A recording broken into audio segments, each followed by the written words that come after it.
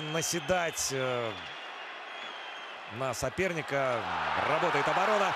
И вот контратака, выход 2 в 1 получается у динамовцев. Бросок поворотом, добивания нет, здесь уже не дали сыграть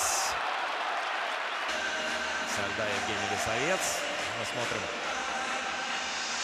Какой момент здесь хороший был у 71 номера Александра Павловича.